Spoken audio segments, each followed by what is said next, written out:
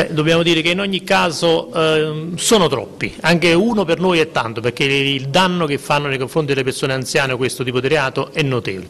Quindi noi insieme all'Ordine dei farmacisti portiamo avanti questa iniziativa per far sì che si riducano sempre di più questi casi e per la tutela insomma, non solo diciamo così, fisica ma anche morale delle nostre persone anziane che ci sono sempre vicini. Il consiglio che diamo è quello di chiamare subito le forze di polizia, 112 e 113 in qualunque momento. La truffa che viene fatta solitamente è quella di telefonare a casa oppure di fermarlo per strada eh, dicendo che c'è un familiare che ha bisogno e quindi di fornire qualcosa di soldi per poter sopperire alle esigenze del familiare.